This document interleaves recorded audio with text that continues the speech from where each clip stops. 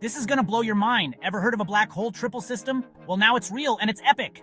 Imagine this. Two stars are orbiting a black hole. One star completes its orbit every 6.5 days, while the other takes a whopping 70,000 years.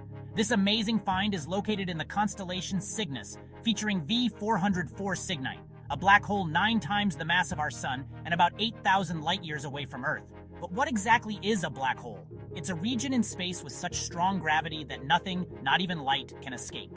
Most black holes form when massive stars explode in supernovae. Yet, V404 Cygni might have formed differently. Researchers from Caltech and MIT discovered it while analyzing telescope data. They think it formed through a failed supernova where the star collapsed inward without a bang. Here's the kicker. V404 Cygni is slowly devouring its nearby star. This suggests that some binary systems could have started as triples, with one star already consumed. Stay curious because the universe never ceases to amaze us.